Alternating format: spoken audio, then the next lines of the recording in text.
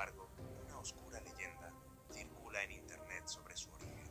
Desde el 2005, los creepypasta, relatos de terror difundidos en Internet, han capturado la imaginación de muchos.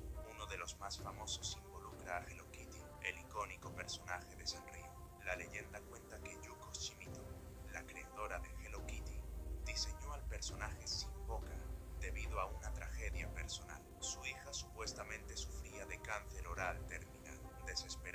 Shimizu habría recurrido al ocultismo, pactando con un demonio que le prometió salvar a su hija si creaba un ídolo amado por todos, pero con un toque malvado. Hello Kitty, embajadora de la cultura pop japonesa, nació en 1974, y aunque estas historias escalofriantes aumentan su misticismo, no han afectado su popularidad. Su figura sigue siendo adorada mundialmente, con productos que se renuevan constantemente,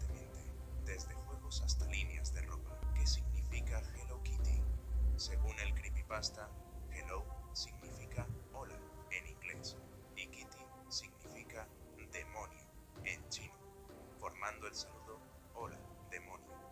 Aunque este relato ha sido desmentido,